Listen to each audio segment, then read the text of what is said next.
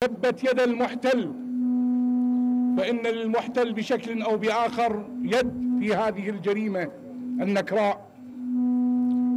وكما يدعو سماحته إلى الهدوء وإلى عدم الانجرار وراء أي فتنة لأن أعداءنا اليوم يريدون بشكل أو بآخر أن يجرونا إلى فتنة لا نريدها.